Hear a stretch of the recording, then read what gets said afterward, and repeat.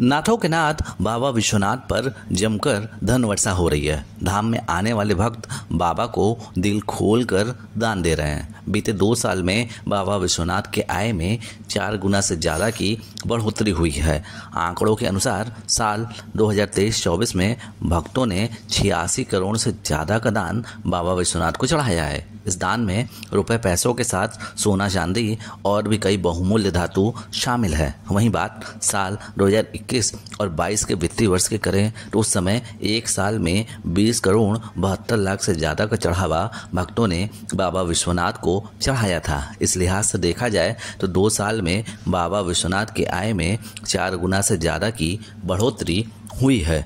काशी विश्वनाथ मंदिर के मुख्य कार्यपालक अधिकारी विश्वभूषण मिश्रा ने बताया कि वित्तीय वर्ष 2017-18 से लगातार बाबा के आय में बढ़ोतरी हो रही है। और साल 2023-24 में इस बढ़ोतरी में नया रिकॉर्ड बना दिया है।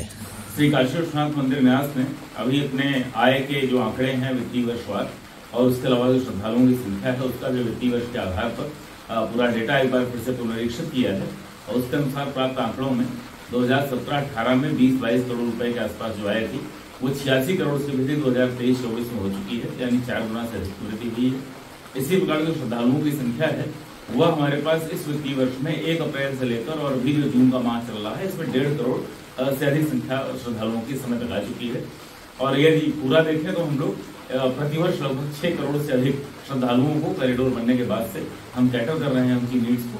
और 13 दिसंबर 2021 के बाद से अभी जून माह तक कुल संख्या हमारी सोलह, साढ़े सोलह करोड़ से अधिक के श्रद्धालुओं की हो चुकी है। श्री काशी विश्वनाथ मंदिर न्यास, सभी श्रद्धालुओं के सबसे सर्वोत्तम सुविधा सेवा प्रदान करने के लिए दृढ़ संकल्पित है कृत संकल्प है। तथा सभी श्रद्धालुओं को महादेव का आशीर्वाद मिलता रहे, ऐसी मनोकामना कामना करता है। हर हर महादेव।